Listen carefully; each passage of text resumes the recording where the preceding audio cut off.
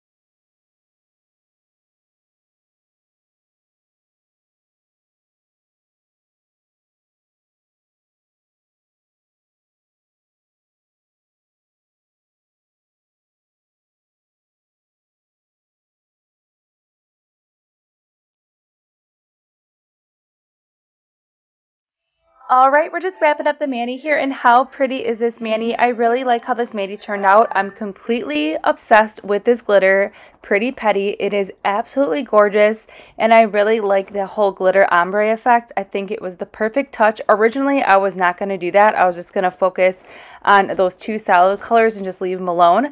But after dipping into that glitter, I had to add some extra bling to the nails. So if these colors were not your cup of tea, head over to Bombshell Nail Co. There are tons of beautiful colors that you will definitely find something that will catch your eye. Stay tuned. There will be more bombshell manis on my channel, including we are going to dive into a really fun subscription bag and we will get into that subscription bag on my channel next week. So make sure you are subscribed. I will go ahead and link everything that we use in today's mani in the description box below, and I'll see you in tomorrow's upload.